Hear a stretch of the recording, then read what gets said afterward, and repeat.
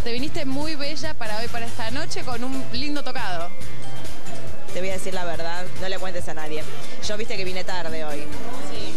porque estaba en el teatro. Ajá. Yo salgo del teatro con los pelos así a las 11 menos cuarto. Para poder estar acá, 11 y cuarto, eh, lista, necesitaba un implemento y los pañuelos habitualmente me, me salvan del descontrol de mi cabello. Estos son los secretitos de las descontrol natural de cabello. Muy contentos, se los ve a todos. Lindo, lindo grupo de gente. Sí, sí, creo que lo más feliz es eso, como mm, la posibilidad de poder compartir toda esta situación de éxito y premio y todo eso con gente que, que uno quiere y con gente con, con la que uno la pasa bien todos los días. Compartirlo con, con gente con poca onda no sería tan feliz como esto.